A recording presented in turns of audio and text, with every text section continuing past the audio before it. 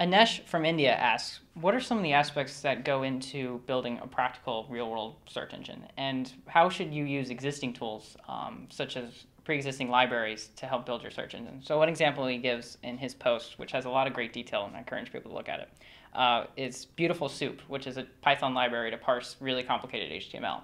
So in our web crawler, we just parse very strict kind of string match, and it doesn't always follow that rule. So Beautiful Soup can help with that. Should we be aware of these libraries and how should we include yeah, them? So there's a lot of things that are more complicated if you want to build a robust search engine that's going to work on all the pages out there on the web.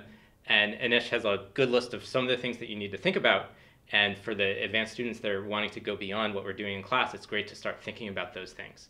Um, and it is also the case that you don't want to build everything yourself. In this class, we're building things ourselves because we want to learn what's going on underneath and build as much and understand as much about computing as we can.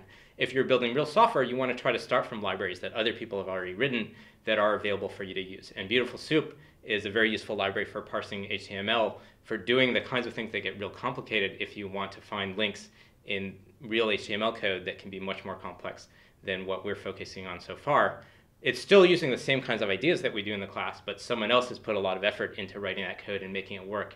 And it's definitely a good idea to reuse libraries that are available. You have to check carefully what the license is on those libraries, whether you can use them or not. Um, but it's definitely when you start building more complex programs, rather than starting from scratch and writing everything yourself, trying to find a library that will help you get what you need done more quickly is a great idea.